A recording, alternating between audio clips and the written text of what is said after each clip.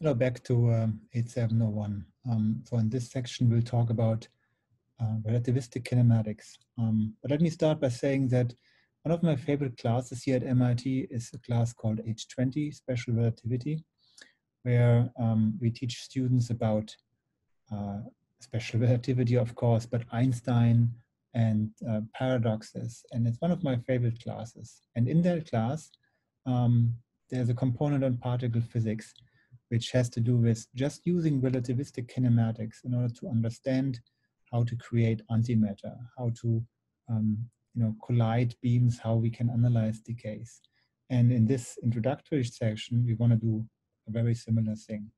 Um, I trust that you all um, had some sort of class introduction of special relativity, some of you maybe general relativity. Um, what we want to do here is review this content very briefly, uh, but then more use it in, in, a number of examples. So in particle physics, nuclear physics, we often deal with particles which travel close to the speed of light. The photon travels at the speed of light. Um, we typically define the velocity as v over c in natural units. Beta, beta is the velocity. Gamma is defined by 1 over square root 1 minus the velocity squared um, beta is always smaller or equal to 1, smaller for mass, massive particles, and gamma is always equal or greater than 1. The total energy of a particle with zero mass, non, sorry, with non-zero mass, is then given by gamma times mc squared. Um, and the momentum is given by gamma times mv or gamma times m beta. The total energy squared of a particle, and we are considering one massive particle or one particle, it's given by energy squared equal momentum squared plus mass squared. Um, if you now consider a particle with zero mass, you see that the energy and the momentum are equal. If you consider a particle at rest, meaning the momentum is zero, you see that the energy is equal to the mass. So you get Einstein's famous formula, the energy is equal E equal mc squared, the energy is equal to the mass or there's an equivalence between those two. Um, what we want to fully under, understand and control are Lorentz transformations, are here shown uh, for the example that we have a boost or a transformation in x direction. So you see that energy momentum transform like time and space. Um, and you just, I really encourage you to just review this um, in more general cases, but you can always, when you have a, a boost in one direction, just do a rotation and get to this more simplified case. So here's the first example I would like you to actually go through. Um, the Lorentz transformation here, I decided to use the z direction uh, just to change things up a little bit.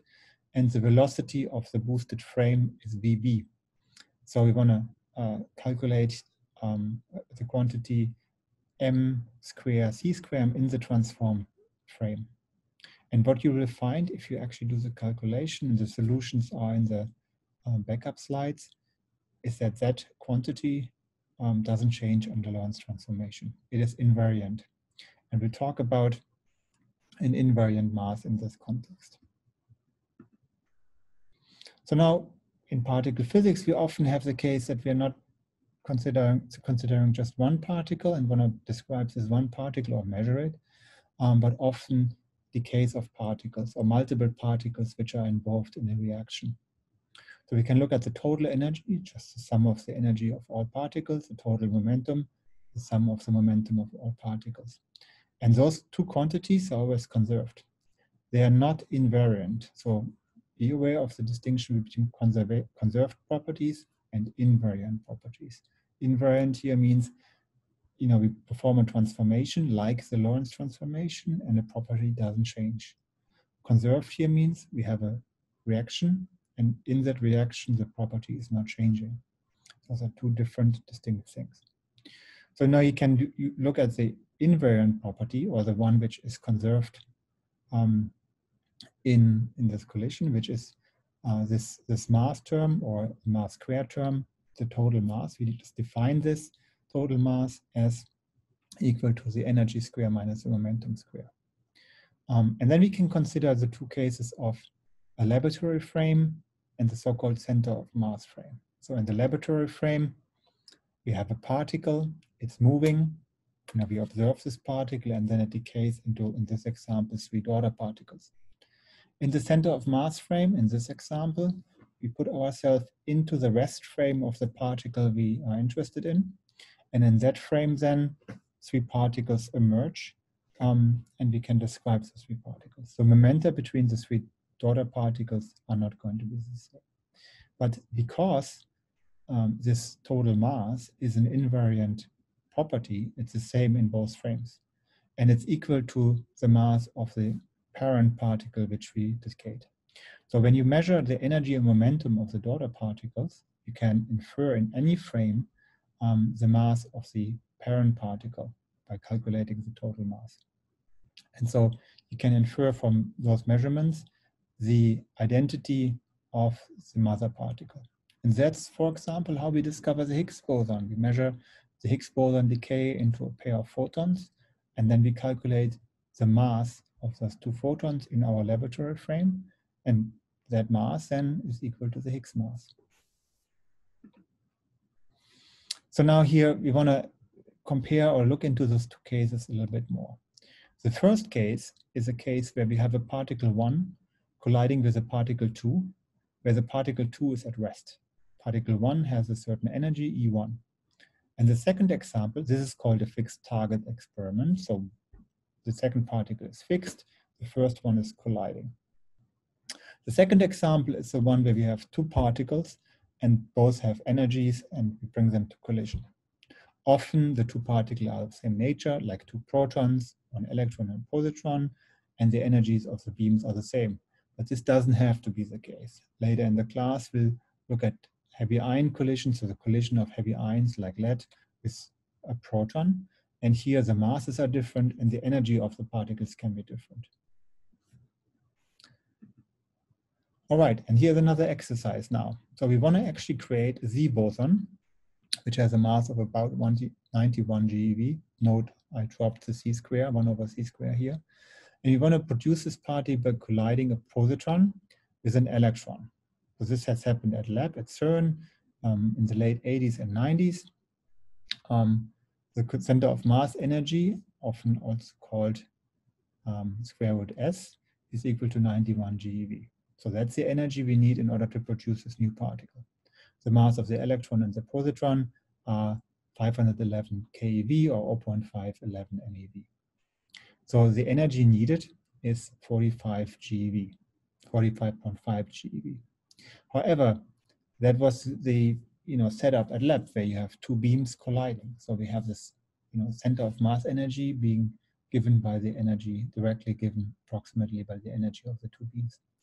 So now imagine somebody would have proposed a fixed target experiment where you have stationary electrons, for example, electrons in atoms, you know, just a gas of some sorts, and then you have produced positrons in a beam, uh, accelerate them and bring them to collision. So the question here now is, how large does the do you need an energy of this positron beam? How large does it have to be in order to produce a Z boson? So again, this is something I would like you to actually explore and just write down. Solutions for this example also in the backup. So now, you know, there is an, a number of interesting examples just coming from E equal mc square and from being able to use, and they can be answered by being able to use Lorentz transformation. And so now here I give you just a set of examples and um, you know, you should work on them on your own time. Maybe we'll touch on them in recitation. The first one is rather straightforward. Um, again, we're talking about LEP at CERN. Um, you know, after the Z bosons were produced, one was trying to go to high energy to find some new physics, some new particle. Uh, for example, the Higgs boson. The Higgs boson might be produced by um, a, a process which is called Higgs Strahlungs process. We will look at this later. So you have an electron and a positron colliding to a virtual Z boson. So that is a Z boson which is heavier than 91 GeV. We'll see later how that's possible.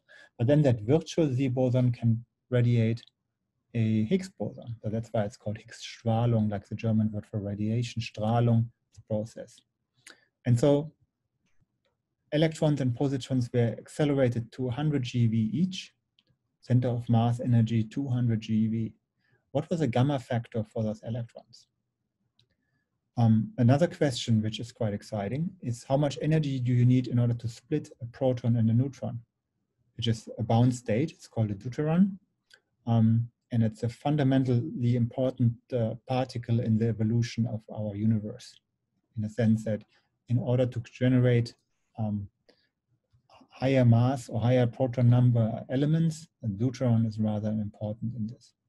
And so just by knowing the mass of the proton, the mass of the neutron, and the mass of the deuteron, you can now calculate um, how much energy is in the binded, or the, what is the binding energy between those particles.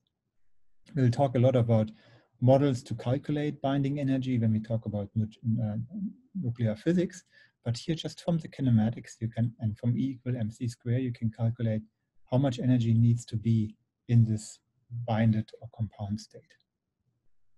Um, from atomic physics, you might remember or know that uh, particles can, excited particles can emit photons.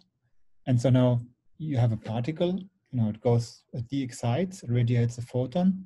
What happens now to the photon? Imagine this is happening in a big gas or in some uh, solid state. Can the photon be reabsorbed by the same medium or even by the same, by the same particle? It's not a trivial question, um, but what is the condition under which, so for example, imagine you have a gas, there's an excited particle in it, it emits a photon, and so now the photon sees the rest of the gas. Can that rest of the gas absorb the photon? Interesting question, it's not trivial.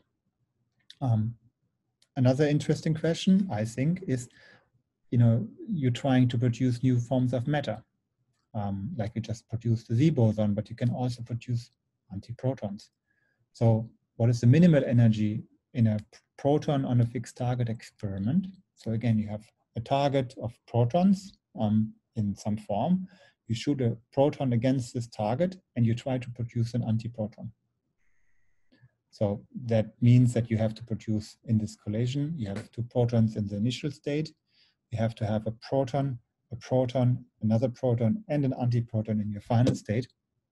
Um, but what, how much energy is needed for the proton beam in order to succeed with this collision. My counting is incorrect here, so this should be five, but okay, fine.